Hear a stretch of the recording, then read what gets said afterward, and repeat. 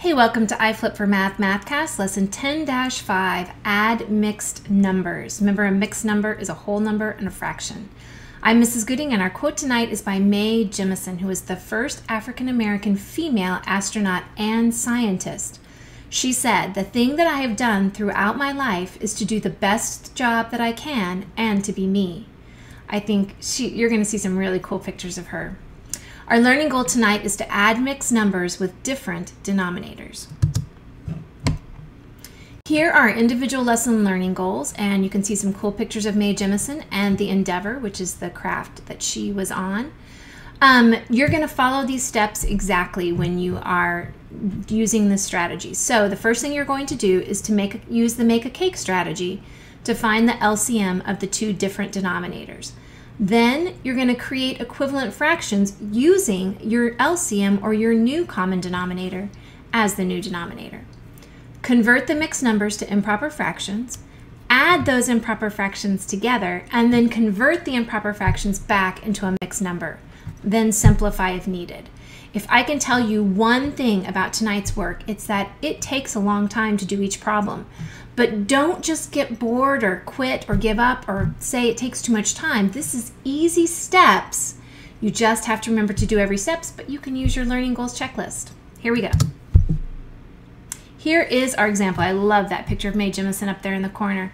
Um, and that picture below is was on 10 tips on how astronauts eat food. So they're eating in space. You can see that they're kind of floating around. Our first problem is 1 and 7 eighths plus 1 and 1 fourth. Let's go ahead and try that now. So I've written it vertically like I would want you to write it. And in the practice exercises, I actually wrote it horizontally, but when we do it on the Bamboo tablet, I expect you to be writing it vertically. You know how to do that because we enter it in our clickers horizontally also. Um, first of all, our first step says to make a cake to find the new LCM so that we can have some common denominators. Because remember, we can't add two fractions together that have different denominators because the pieces are different sizes. So we're going to put both of our denominators in a cake. I like to just put the smaller denominator first because then I can use it if I need to simplify in the end sometimes. So we ask ourselves, what will divide evenly into both 4 and 8? And you might use 2 and you might use 4. It doesn't matter. So you're going to come up with the same answer on top. So 2 goes into 4 two times. 2 goes into 8 four times. Layer number 2 of our cake. What divides evenly into 2 and 4? 2 does. 2 goes into 2 one time. 2 goes into 4 two times. Third layer of our cake. I like this cake. What divides evenly into 1 and 2? Just 1. 1 goes into 1 one times, and 1 goes into 2 two times. When I've repeated these two denominators here, 1 and 2 and 1 and 2, I'm ready to make my L. This is a crazy looking L because we had so many layers. But remember, we multiply all the layers and all the way around the top to find our LCM. So 2 times 2 is 4, 4 times 1 is 4, 4 times 1 is 4, and 4 times 2 is 8. Our LCM equals 8. You could also ask yourself, will 4 divide evenly into 8? And if it does, 8 is your common denominator. But you've got to be really accurate in making those decisions.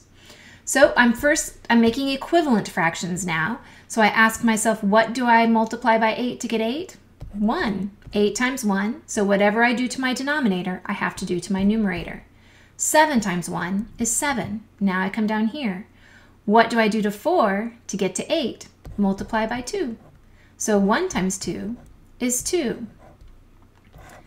Now, I'm ready to add these together, but first I'm going to convert them into improper fractions. And here's something I want you to realize. This whole number 1 and 7 eighths is still here. 1 and 7 eighths, that shouldn't be connected, but I don't have to erase it quickly and then this equals 1 and 2 eighths. Now I can make an improper fraction and multiply them together to get my answer. 8 times 8, 1 is 8. 8 now remember to, I, I, I want to make sure I make this very clear if you haven't watched this particular video. We are taking this mixed number and converting it to an improper fraction. So 8 times 1 is 8. 8 plus 2 is 10 and my denominator stays the same. Here we go.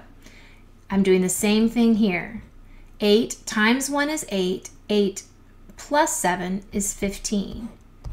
And my denominator stays the same.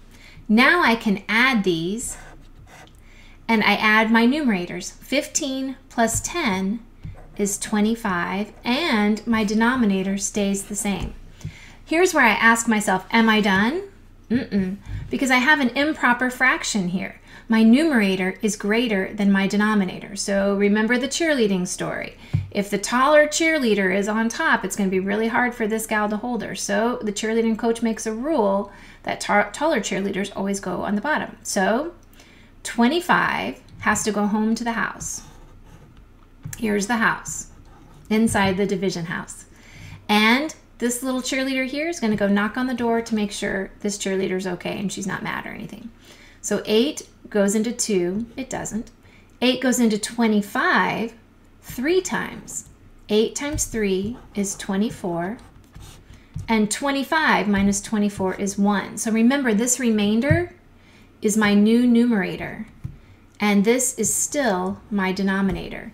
So 25 eighths equals 3 and 1 eighth. And I'm going to put a giant box around this so that you can see that. Now, the reason I did this it this way is so that you're not having to borrow and carry from this whole number. When you convert to an improper fraction, it makes it a little bit easier.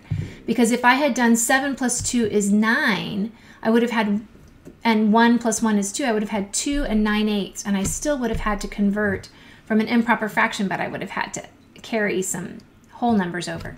You can see them having fun with anti-gravity and then just doing science experiments in space. When scientists and astronauts go into space, they conduct science experiments in uh, an anti-gravity zone. Number one, you see I've written them horizontally. I've left big spaces between the whole number and the fraction, but make sure you write them vertically. 2 and 2 fifths plus 5 and 5 sixths. Pause it and push play when you're ready. Go back and check out your example notes if you need to. Did you write 8 and 7 thirtieths? Let's see how we did that. Okay, so we're looking at 2 and 2 fifths and then plus 5 and 5 sixths. Remember, these are whole numbers. These are the fractions we're working with. So our denominators are different. We can't add those together. So we're going to put them in a cake. and I'm going to put them up high up here. I'll put my smaller denominator first and my larger denominator last, but it doesn't really matter. What we ask ourselves, what goes into both 5 and 6? And whenever these two denominators are just one away from one different than the other, 5 plus 1 is 6, 6 minus 5 is 1, we know the only thing that will divide into them is 1. So 1 goes into 5, 5 times. 1 goes into 6, 6 times. I've already repeated my two denominators, so I'm ready to find my LCM. I'm going to multiply all the way around. 1 times 5 is 5, and 5 times 6 is 30. So my LCM equals 30. So I'm actually going to change the color of my pen here because I want to do the new problem so that you can really tell your numbers apart. Um, so before I move my whole numbers over, and it is so important that you do move those whole numbers over or your answer is going to be crazy wrong. But I'm going to go ahead and find my equivalent fractions. So I ask myself, what do I multiply 5 by to get 30? And it's times 6. So 2 times 6 is 12. Then I come down here to this denominator. What do I multiply by 6 to get 30? 5. So 5 times 5 is 25. Now, this is where I'm going to add my whole number in really quickly. Okay? So we've got some big numbers here. And the first thing I'm going to do is find out if I add these together, is it going to be greater than 30? And it is. So I'm going to go ahead and multiply my mixed numbers and add my mixed numbers because I multiply and then I add to get an improper fraction. So here I do 30 times my whole number 2 and I get 60 and then I'm going to add 12, so I have 72, and then my denominator stays the same. Now I'm going to multiply 30 times 5. That sounds a little tougher, but remember I can use my mental math strategy. 3 times 5 is 15. Add my 0, so I have 150. And 150, 150 plus 25 is 175. thirtieths. Now, I don't want to add those in my head. And the reason I don't want to is because I might make a mistake. And I don't want to do all this crazy hard fraction work and then make a mistake adding a really simple addition problem. So 5 plus 2 is 7, 7 plus 7 is 14, and 1 plus 1 is 2. So my answer is 247 thirtieths, which is a completely inappropriate fraction because 247 is huge compared to 30. So let's come over here. I'm going to change this to a red pen so it doesn't get in our way.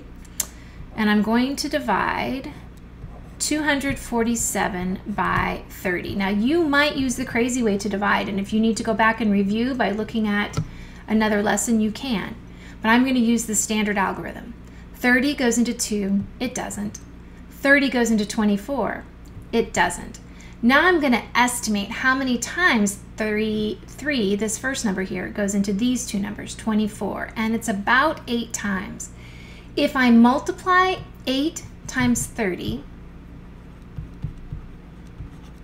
using my mental math strategies, I get 240 because 8 times 3 is 24, and then I bring that 0 over. And that is less than this, so it's perfect. So I did a good job estimating that. I'm going to use my 8 multiply 8 times 30 again. I did that right here. And when I subtract 247 minus 240, I get a remainder of 7. That is my new numerator, and 30 is my denominator. It stays the same. So now I have 7 thirtieths as my fraction, and I know that I can't simplify this fraction part here because 7 is a prime number, meaning it only has two factors, 1 and 7 and it will not, 7 will not divide evenly into 30, so I'm done. So as I write my final answer, 8 and 7 thirtieths, that's a totally huge amount of work, but what a fabulous amount of work it is. Hopefully you organized it a little better on your paper. I'm kind of limited to space with the bamboo tablet. Number two, 4 and 1 ninths plus 1 and 1 third. Pause it, and push play when you're ready. Did you write 5 and 4 ninths? Let's work that one together. So again, I'm not going to look at my whole numbers right now. I'm just looking at my fraction. And my fraction, my denominators are different. So I'm going to make a cake up here. 3 and 9 in the bottom layer of my cake. That's my two denominators. And I ask myself what number will divide evenly into both 3 and 9, and it's 3. 3 goes into 3 one time. 3 goes into 9 three times. That's the second layer of my cake. What will divide evenly into both 1 and 3? 1. 1 goes into 1 one time. 1 goes into 3 three times. And I'm ready to multiply them together and find my LCM. You do know that when you have ones in here, you can kind of ignore them because it's not going to change your answer. So 3 times 3 is 9. My LCM equals 9. So that's my new common denominator. So I'm not going to write my whole number in there quite yet because I'm looking at my fraction parts right now. I'm asking myself, what do I do to 9 to get 9? Times 1. What do I do to 1? I multiply it by 1, just like the denominator. 1 times 1 is 1. What do I do to 3 to get 9? Times 3. So 1 times 3 is 3.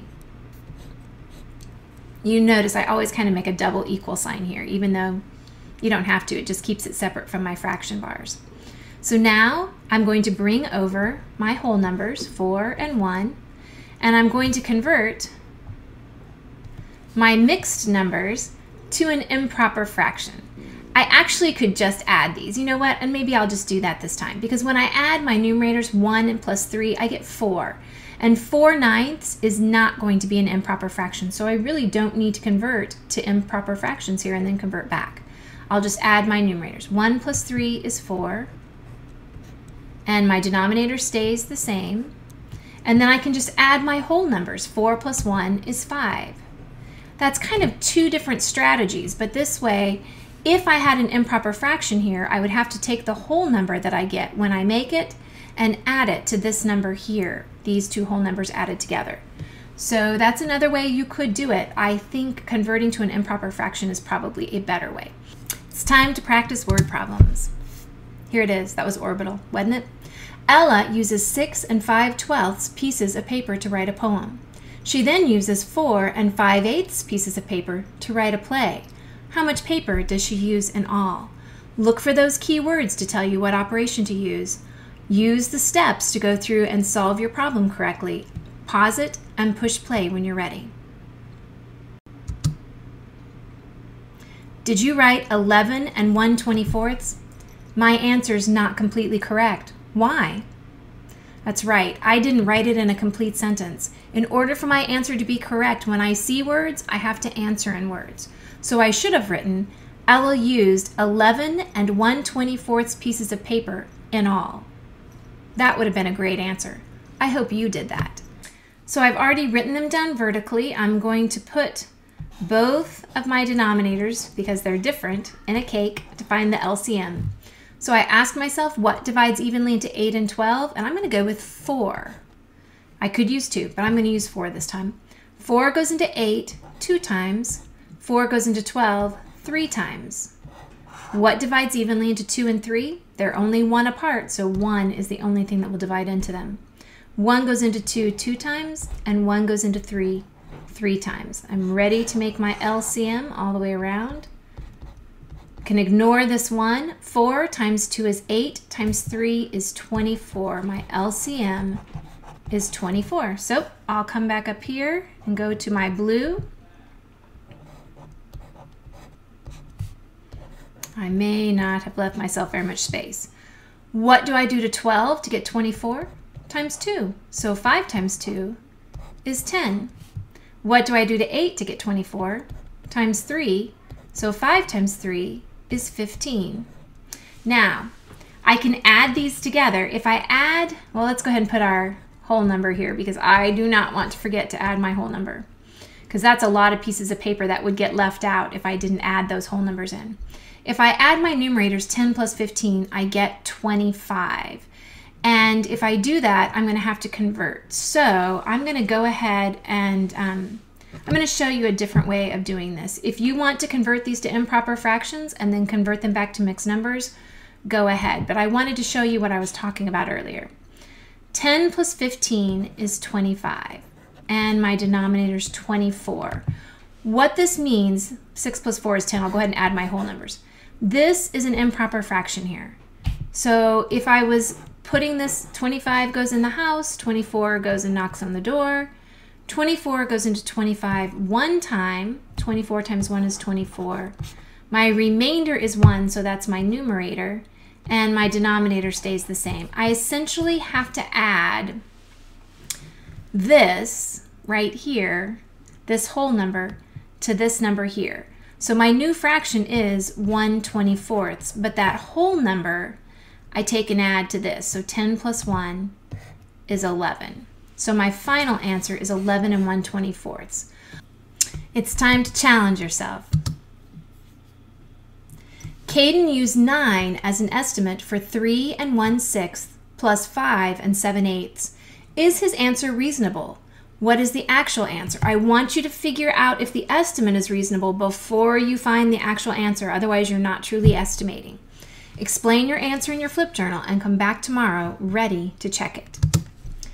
Finishing up, review your learning goals. Did you understand each of them? Did you check them off as you went through them? Are you do you have a lot of questions? I expect you to have questions tonight. Write down specifically what of those individual lesson learning goals you were struggling with so that we can practice them more in small group tomorrow. Um, this is a hard lesson, lots of steps. We're going to keep practicing. Marvelous mixed numbers. You have completed lesson 10 5 Add mixed numbers. I can't wait to see you tomorrow.